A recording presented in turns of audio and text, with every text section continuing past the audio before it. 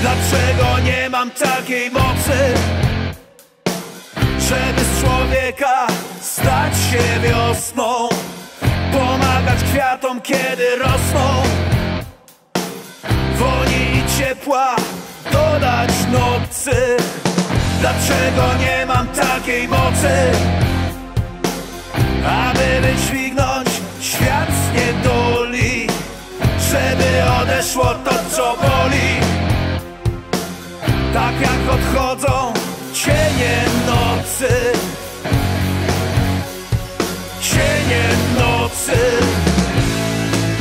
Dlaczego nie mam takiej siły Dlaczego nie mam takiej mocy, żeby z człowieka stać się wiosną? Pomagać kwiatom, kiedy rosną. Woni i ciepła dodać nocy. Dlaczego nie mam takiej mocy, aby wydźwignąć świat z niedoli? Żeby odeszło to, co boli. Tak jak odchodzą cienie nocy. Dlaczego nie mam takiej siły, by zostać królem huraganów, zawładnąć mocą oceanów, aby przede mną pokłon biły? Dlaczego nie mam takiej siły, by skarby wiedzy skraść olbrzymie, by wsławić kraju mego imię, aby mu światy pokłon biły?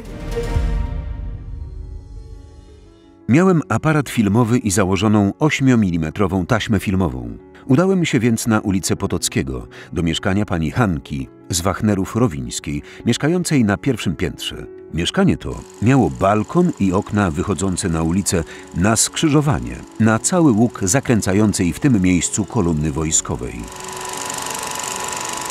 Jadą niemieckie wojska. Działa, jeszcze amunicyjne. Ciężarówki wyładowane sprzętem wojennym i żołnierzami. Wykonałem więc pierwszy reportaż filmowy.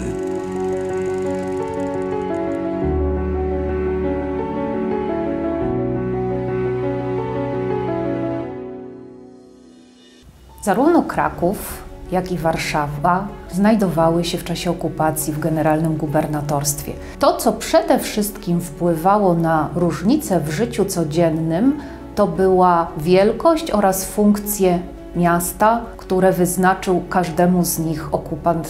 Warszawa była miastem milionowym, dużą metropolią. Kraków był w porównaniu z Warszawą przynajmniej czterokrotnie mniejszy. Dla Niemców Kraków był miastem łatwiejszym do opanowania. Nie bez powodu Kraków został także wybrany na centralny punkt generalnego gubernatorstwa. To się przekładało na ilość dostaw żywności, na ilość funkcjonariuszy państwowych e, w danym mieście, a to znowu musiało mieć wpływ na zachowanie ludności cywilnej. Warszawa była traktowana jako miasto, które należy sprowadzić do pozycji miasta prowincjonalnego. Ono miało się zwinąć. Warszawa pozostała stolicą Polski, była także stolicą polskiego państwa podziemnego. Tutaj koncentrowało się serce konspiracji. Przez całą okupację Warszawa była nieujarzmiona. We wrześniu 1939 roku, jeszcze w czasie działań wojennych, zaczęły powstawać pierwsze organizacje konspiracyjne, w tym najważniejsza Służba Zwycięstwu Polski. To one stały się zaczynem polskiego państwa podziemnego. Okoliczności powstania polskiego państwa podziemnego były jakby oczywiste. Wróg wkracza, okupuje, będziemy walczyć dalej. Tworzymy grupę konspiracyjną. Polskie państwo podziemne to jest społeczny fenomen. To jest fenomen polegający na samoorganizacji społecznej, na tym, że ludzie o bardzo różnych poglądach, wywodzący się z bardzo różnych środowisk, porozumieli się co do tego, że chcą stworzyć wspólnie podziemny organizm państwowy. Jest inicjatywa ze strony wojskowych, zmiany nazwy dokonuje Sikorski jako naczelny wódz, ze Związku Walki Zbrojnej na Armię Krajową, w 1942 roku. Armia Krajowa powstała również jako porozumienie obywatelskie, bo powstała w wyniku kolejnych scaleń z mniejszymi organizacjami. W szeregach organizacji znajdą się nie tylko organizacje wojskowe, tworzone przez różnych oficerów, ale też organizacji politycznych, ponieważ każda partia polityczna też tworzyła swoje organizacje zbrojne. I chodziło o to, żeby włączyć te organizacje do jednej, jednolitej armii. I ta armia, to znaczy Armia Krajowa, to była zarazem siła zbrojna polskiego państwa podziemnego. Armia Krajowa to nie była tylko armia, ale to również była ta siła, która zwalczała bandytyzm, która zwalczała kolaborację, która zapewniała pewien ład społeczny i poczucie, że Polska trwa. Panie profesorze, Teresa Bogusławska, najmłodsza e, poetka walczącej Warszawy. Z jakiego ona się środowiska wywodziła? Gdzie chodziła do szkoły? Ta pierwsza sprawa to miejsce urodzenia, jakim jest Warszawa. To jest miasto jej młodości, jej dzieciństwa, a to jest też miasto jej twórczości. Ono się pojawia bardzo często w tej poezji. To jest jeden z dominujących wątków, tych nielicznych w sumie, bo zaledwie 60 paru utworów. A druga, równie istotna, może jeszcze ważniejsza rzecz, to jest właśnie rodzina, z której ona pochodzi. Tutaj taką kluczową osobą jest postać ojca. Antoni Bogusławski to jest też e, nie tylko pisarz i tłumacz, czy poeta, ale też e, wojskowy, właśnie uczestnik wojny polsko-bolszewickiej. Człowiek oznaczony pięciokrotnie krzyżem walecznych. Orderem Virtuti Militari, no to już mówi, mm. z jaką osobą mamy do czynienia, z jakim formatem osoby mamy do czynienia. Słowem jest to rodzina inteligencka, o takim wychowaniu też, co ważne, religijnym. Warszawo, Warszawo, Warszawo. Patrz. Nad tobą niebo się rozsnuwa. Chociaż ciemnych, murami brzemienne, a jednak niebo. W nim mówią jest Bóg. Warszawo, wierzysz, że on czuwa? Cały rok 1940 i 41 szukałem kontaktu, który umożliwiłby mi wstąpienie do jakiejś organizacji, o której się słyszało bardzo wiele, że działają i że szkopom mocno dokuczają. Wreszcie spotkałem znajomego z wojny. On to sprawił, że znalazłem się wreszcie w upragnionej organizacji antyfaszystowskiej, wojskowej, utworzonej przez legendarny rząd polski na emigracji w Londynie. Drogi ludzi do konspiracji były przeróżne i bardzo kręte. Najbardziej typowa droga prowadziła z organizacji harcerskiej, z organizacji strzeleckiej, czy ze wspólnego doświadczenia wojskowego. To była działalność, która groziła bardzo poważnymi konsekwencjami, łącznie z utratą życia. Dlatego też wciągani byli ludzie, którzy byli znani już wcześniej z gruntu towarzyskiego, rodzinnego, zawodowego, z działalności społecznej czy jakiejkolwiek innej, ale z tej racji żywiono do nich zaufanie. Wiedziano, że to był ktoś, na kogo można liczyć. Bardzo często były to rodziny, bliżsi, dalsi krewni, osoby, które wiedziały, że mogą na sobie polegać, że mogą sobie ufać i też z tej działalności konspiracyjnej wcześniejszej były sprawdzone już y, przez y, służbę kontrwywiadu Polskiego Państwa Podziemnego. Ludzie muszą chcieć wspólnie ryzykować i dobrowolnie poddać się autorytetowi osoby, której ufają. Teresa Bogusławska wstępuje e, do szarych szeregów. Jesienią 1941 roku składa e, przysięgę. Tę przysięgę odbiera siostra Tadeusza Zawadzkiego, Anna Zawadzka, czyli, czyli siostra Zośki, znanego z kamieni na szaniec e, Aleksandra Kamińskiego to było to przysięganie wierności Bogu i Ojczyźnie, ale tam jest jeszcze ten drugi komponent, który pojawił się w czasach okupacji, mianowicie y, tam jest mowa też w tej rocie, że taki ktoś przysięga dochować tajemnicy i nie zdradzić organizacji, nawet jeśli y, będzie to oznaczało ofiarę z życia. W obliczu Boga Wszechmogącego i Najświętszej Maryi Panny królowej korony polskiej kładę swe ręce na ten święty krzyż, znak męki i zbawienia, i przysięgam być wiernym ojczyźnie mej Rzeczpospolitej Polskiej, stać nieugięcie na straży jej honoru i o wyzwolenie jej z niewoli walczyć ze wszystkich sił, aż do ofiary życia mego.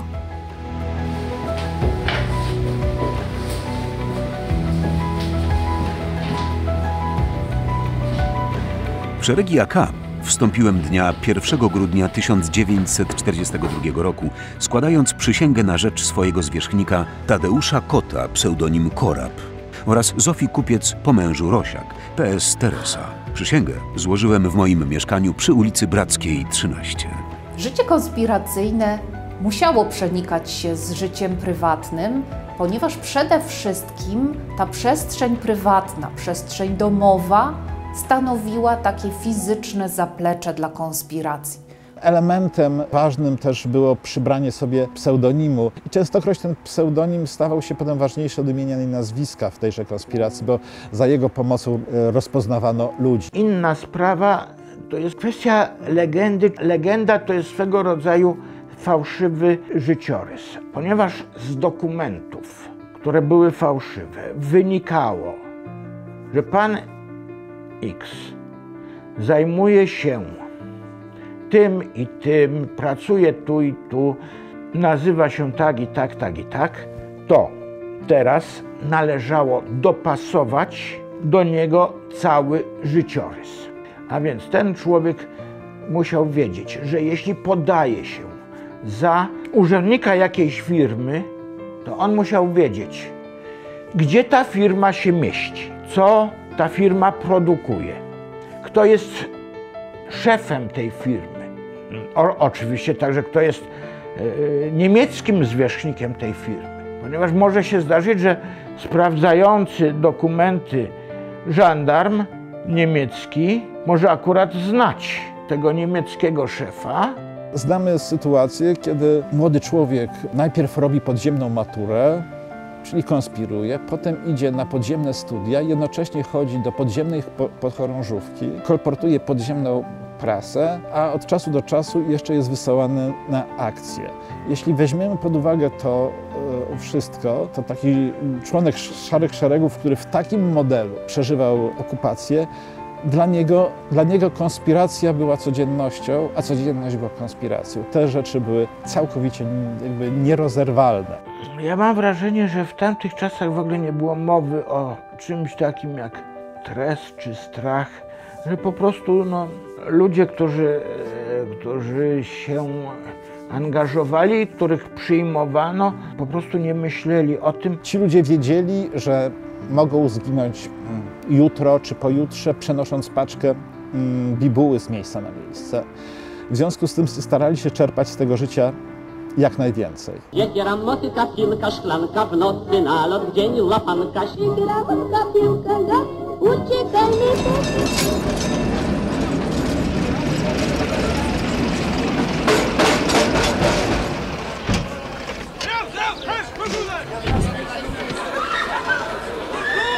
łapanka i związane z tym później egzekucje były, były elementem codzienności, jakkolwiek to dzisiaj straszliwie nie zabrzmi. Część osób aresztowanych w trakcie łapanek, jeżeli Niemcy uznali ich za groźnych wobec III Rzeszy, była kierowana do obozów koncentracyjnych. W przypadku Krakowa często byli wysyłani do obozu Kraków-Płaszów, obozu, który był najbliżej, a jednocześnie można było tam kierować dużą liczbę więźniów ze względu na trudne warunki funkcjonowania w tym obozie, ze względu na pracę niewolniczą, którą wykonywali tam więźniowie.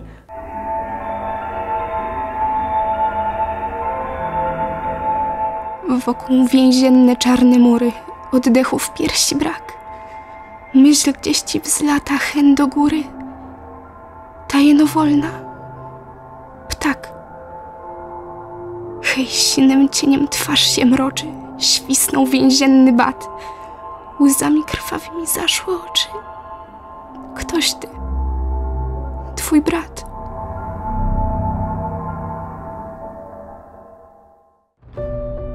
Przydzielono mnie do kierownictwa informacji i propagandy. Przyjąłem pseudonim Jagoda. Mieszkanie moje oddałem do dyspozycji organizacji podziemnej. Tam odbywały się zebrania członków AK. Szkolenie ich we władaniu bronią, włączności konspiracyjnej, prowadzeniu patroli informacyjnych w grupach partyzanckich leśnych oraz redagowaniu i kolportowaniu pism konspiracyjnych. Ponadto w mieszkaniu był punkt rozdziału prasy podziemnej na okręg. Codziennie specjalni gońcy i łącznicy znosili wiadomości wydawane w Krakowie i warszawski biuletyn informacyjny. Chodziło o to, ażeby zapewnić żołnierzom oraz społeczeństwu informację prawdziwą, rzetelną i to była główna właściwie rzecz, główny cel.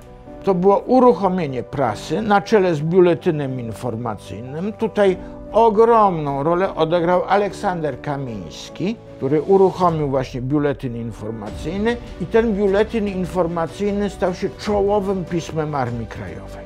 Oprócz tego głównego komunikatora były też gazety, były też y, czasopisma wydawane lokalnie. Lokalna prasa wydawana z nasłuchów radiowych, komunikaty BBC, które były następnie przepisywane i na powielaczach czy na maszynie kopiowane, przekazywane w teren. Co ciekawe, tutaj bardzo dużą rolę odgrywali młodzi ludzie, którzy byli kolporterami tej prasy podziemnej. Teresa Bogusławska należała, tak jak te najmłodsze właśnie grupy harcerzy, do tak zwanego małego sabotażu. To znaczy oni się zajmowali tam takimi, powiedzmy taką akcją propagandowo-informacyjną, bo to tam było nawet zabronione, żeby oni uczestniczyli w jakichś działaniach, e, powiedzmy... Ulotki, no, plakaty.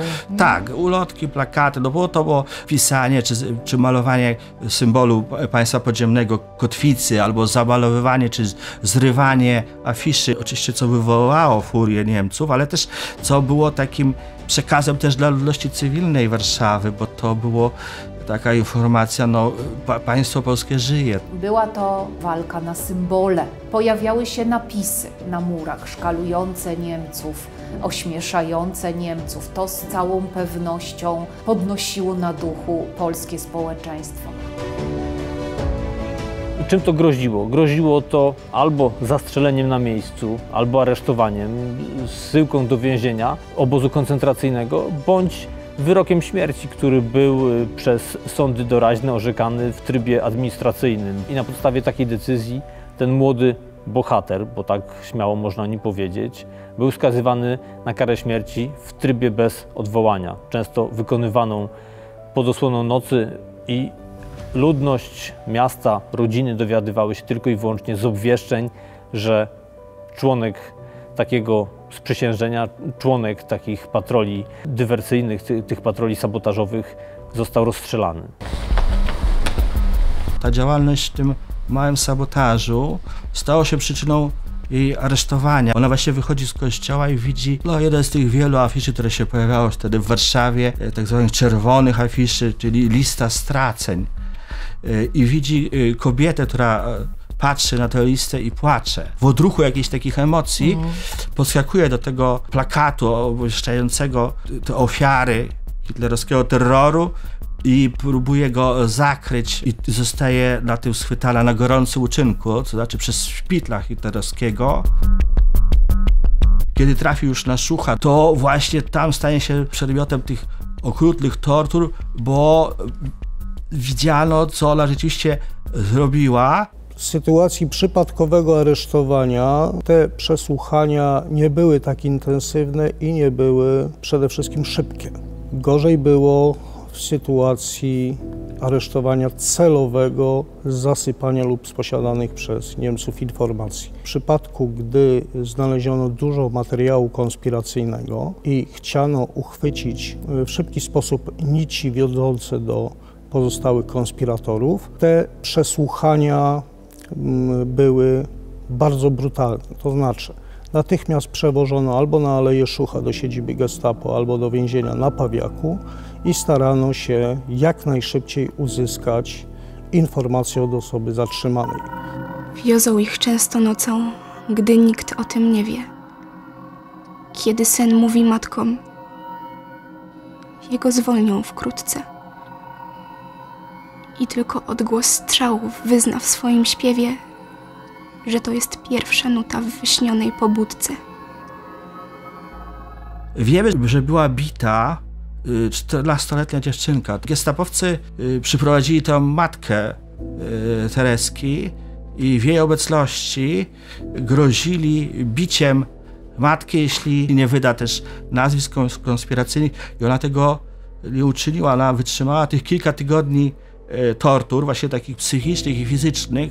Ona w strasznym stanie E, takim fizycznym, prawda, chora, opuszcza pawiak i teraz e, opiekuje się nią mama, która próbuje podreperować jej stan zdrowia, trafia e, do sanatoriów, między innymi jest w Otwocku, ale co znamienne, ona wyszła pod takim warunkiem, że będzie co dwa tygodnie pojawiać się na gestapo. Końcu maja 44 ulokowano w moim pokoju powielacz. Pewnego dnia, gdy wszedłem do mieszkania, żona profesora Lepszego powiedziała mi, że jej służąca wspomniała, że w pokoju pana inżyniera tłucze się jakaś maszyna. To wystarczyło, aby punkt ten uważać za spalony. Skierowano mnie do zgrupowania partyzanckiego Kamiennik na Łysinie. Ustaliliśmy z okręgiem termin wymarszu, hasło, odzew, miejsce pobytu zgrupowania i inne tym podobne dane.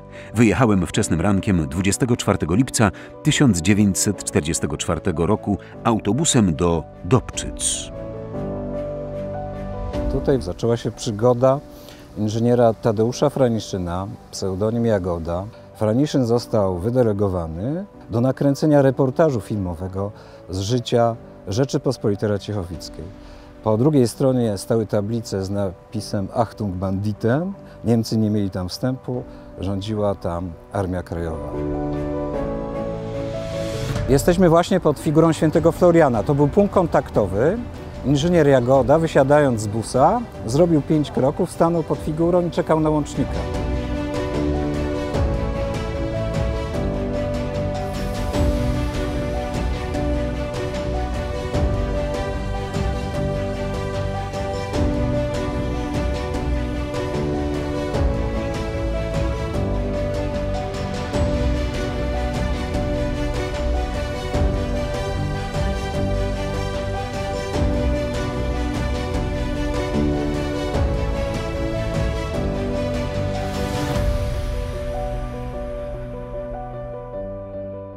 Ja schodzę właśnie ze stoków kamiennika. Dokładnie na tych stokach było jakby pierwsze ujęcie uroczystości, która tutaj odbyła się i zbudowany tam był maszt, e, na który wciągano flagę przy dźwiękach hymnu, który śpiewały oddziały oraz ołtarz polowy. Gdzieś na tym stoku nasz bohater przyklęknął na prawe kolano, wziął do ręki kamerę, doprawdy fascynujące urządzenie. Tutaj jest taki motylek do nakręcania sprężyny, kamera model Bell Howell. Na takim pasku trzymało się na ręce. I jak patrzymy sobie tutaj w obiektyw, to mamy idealny kadr przedstawiający właśnie naszą suchą polanę między kamiennikiem i łysiną.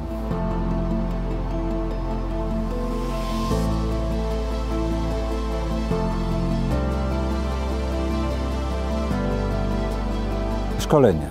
Oczywiście szkolenie było nie tylko strzeleckie, a z tym było naprawdę trudno, ponieważ oszczędzano amunicję.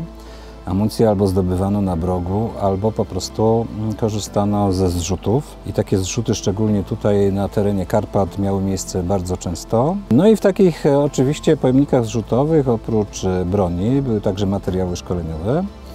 No i przeprowadzono na przykład ćwiczenia z topografii, terenów leśnych, e, poruszanie się po zmroku, rozpalanie ogniska mm, bez zapałek, na przykład krzesiwem.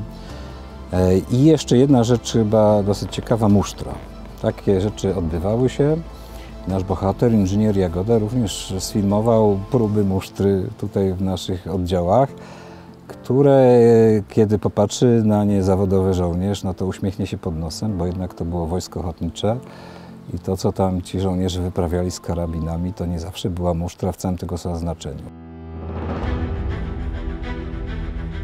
Ale trzeba jasno powiedzieć, że w okresie, kiedy ogłoszono akcję burza na terenie właściwie całego państwa podziemnego, to takich wolnych chwil było bardzo niedużo.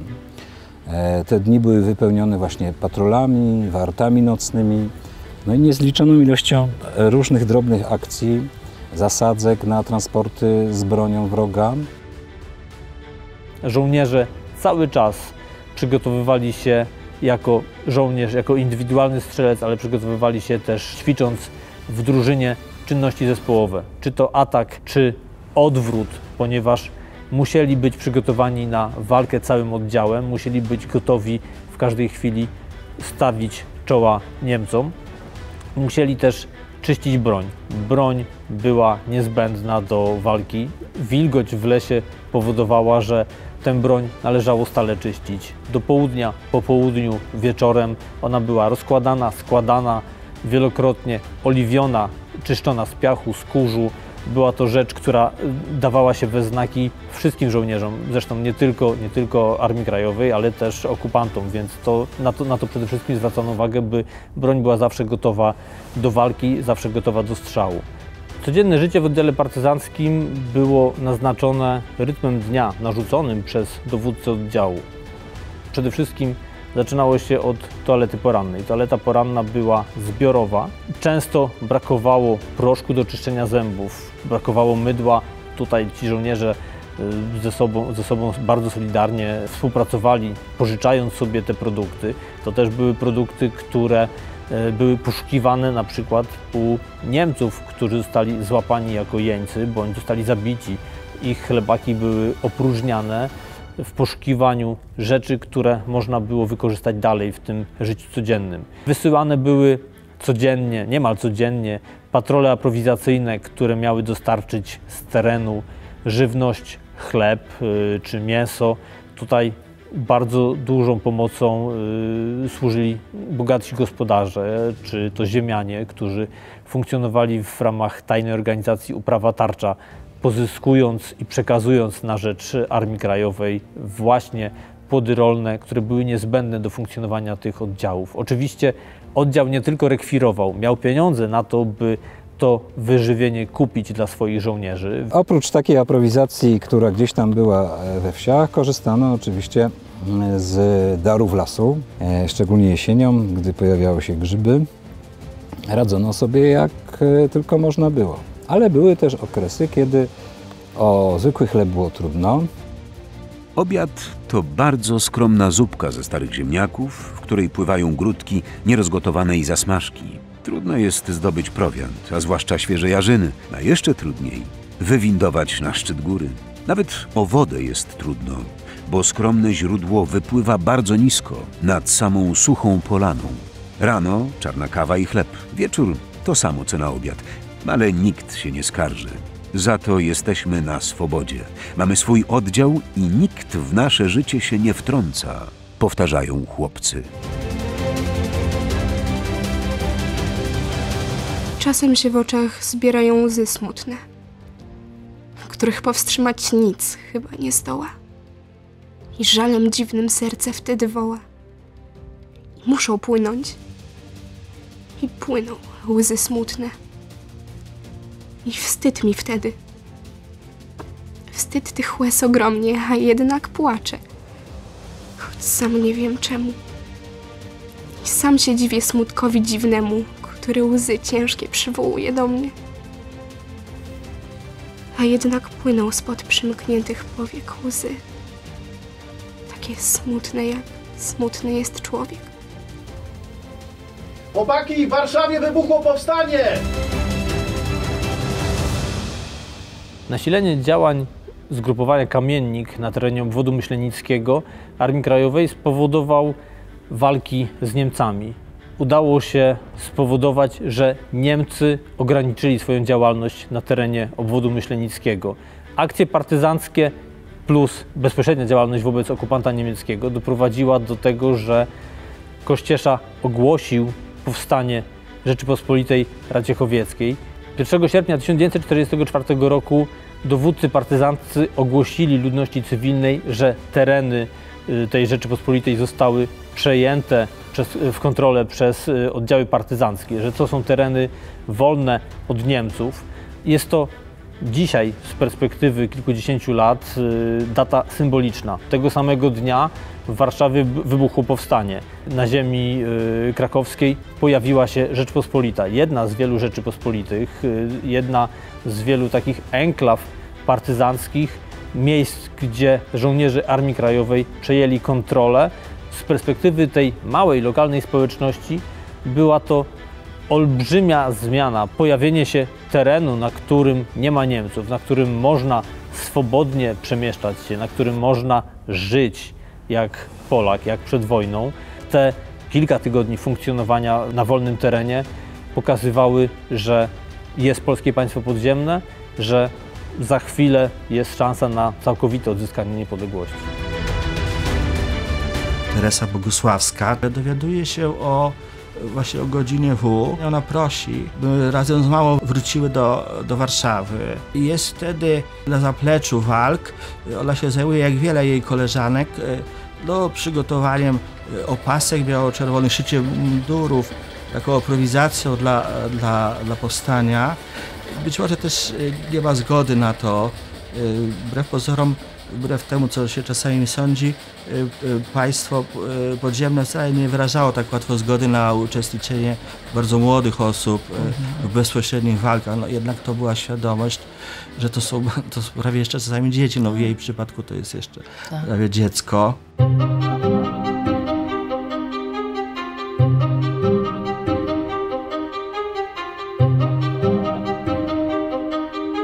Działalność partyzancka w obwodzie Murawa spowodowała wzrost nasilenia represji niemieckich. Jeżeli Niemcy nie byli w stanie zwalczyć bezpośrednio oddziałów leśnych, skierowali swoją działalność na ludność cywilną w celu zastraszenia tych, którzy pomagali oddziałom partyzanckim.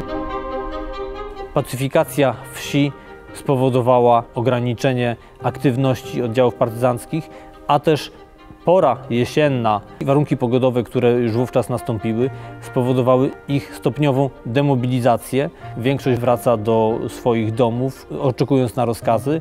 Jak wiemy, te rozkazy nie nadeszły. 19 stycznia 1945 roku została rozwiązana Armia Krajowa i stopniowo rozkazy o rozwiązaniu poszczególnych oddziałów docierały w teren. Część ludzi pozostała w konspiracji, konspiracji niepodległościowej, Część osób zdecydowała się opuścić kraj i przedrzeć się przez zieloną granicę, przez Czechosłowację w kierunku Europy Zachodniej, trafiając do polskich sił zbrojnych na zachodzie. Nie żegnaliśmy Ciebie z rozpaczą. Nie słuchaliśmy w drodze drzew płaczu i odeszliśmy. Zda się, pogodnie z piosnką o tym żołnierzu tułaczu. Ona razem z matką przechodzą ten szlak, którym przechodziła znacząca, znaczy prawie wszyscy mieszkańcy Warszawy, to znaczy po klęsce powstania. Y, ludność udaje się do obozu w Pruszkowie. No, matka jako lekarz już pewnie to wie. Zresztą sama też y, Tereska też już o tym wie, że już nie wróci do zdrowia, że to jest po prostu koniec, że ona umrze. Umiera właśnie 1 lutego i co znamienne, na jej grobie jest właśnie krzyż w koronie cierniowej jest fragment jej wiersza. Jest taki jej wiersz y, Warszawski Chrystus. Blask zachodu prześwieca się krwawo, aż refleksy się kładą płomienne na zamkowy spopielały próg. Warszawo, Warszawo, Warszawo, czy nie znasz krwi i łez i trwóg? Nie znasz, co męka i ból? Patrz! W posąg zaklęty król niebo miecz wznosi gdzie Bóg. Można by było zbudować pewne rolę paraleli pomiędzy tymi y, dosyć odległymi biografiami, to znaczy odległymi w tym znaczeniu, że no, Reiszy to jest jednak e, początek wieku XX, to jest ukształtowany mężczyzna, gdy kręci swoje filmy, gdy robi zdjęcia, ale mamy tutaj pewną sytuację, która pewnie łączy te dwa życiorysy. Mianowicie jest to pewnie pytanie o sytuację artysty e, konfrontowanego z doświadczeniem wojennym. To jest ta sama sprawa, to znaczy to jest ta świadomość powinności. Sztuka w czasie wojny musi się skonfrontować z taką ideą e, może romantycznej trochę proweniencji, mianowicie jako pewnej powinności. Sztuka musi stać się pewną powinnością wobec narodu, więc tutaj na pewno to widać i w przypadku filmowców. Myślę, że i on, i ona stają też przed takim dylematem, podobnym do tego, który może tutaj nakreśliłem, mianowicie jak pisać i jak filmować. Jeśli odpowiedzieć sobie pytanie, jak to zapisać. To nie jest to takie oczywiste, to dla nas dzisiaj, gdy patrzymy na to z tej perspektywy już kilkudziesięciu lat po wojnie, natomiast wtedy y, każdy, kto chciał pisać, musiał się skonfrontować z tym pytaniem. Tutaj warto powiedzieć dwie rzeczy.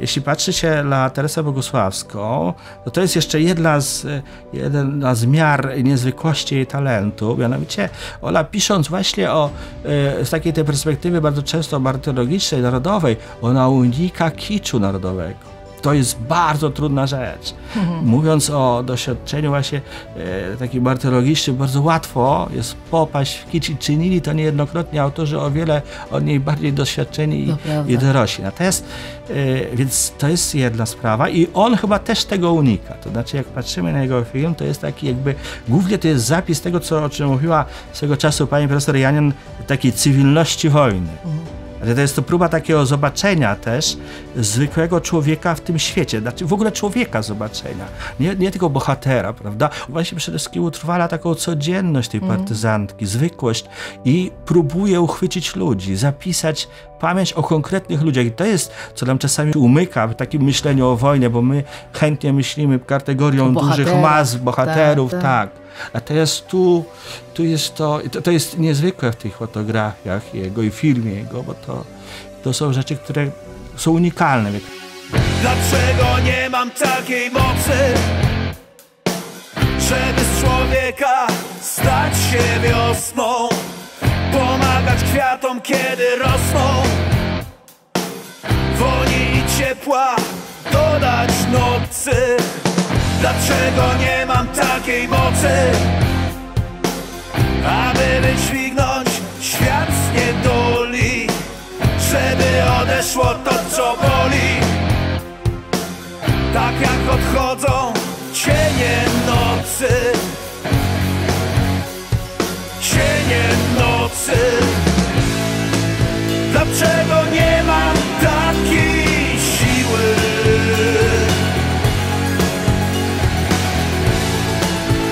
Dlaczego nie mam takiej mocy? Dlaczego nie mam takiej siły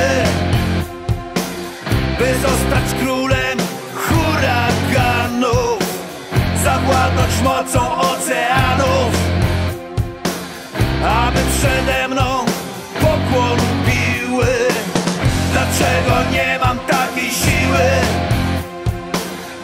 skarby wiedzy skraść olbrzymie By wsławić kraju mego imię. Aby mu światy pokłon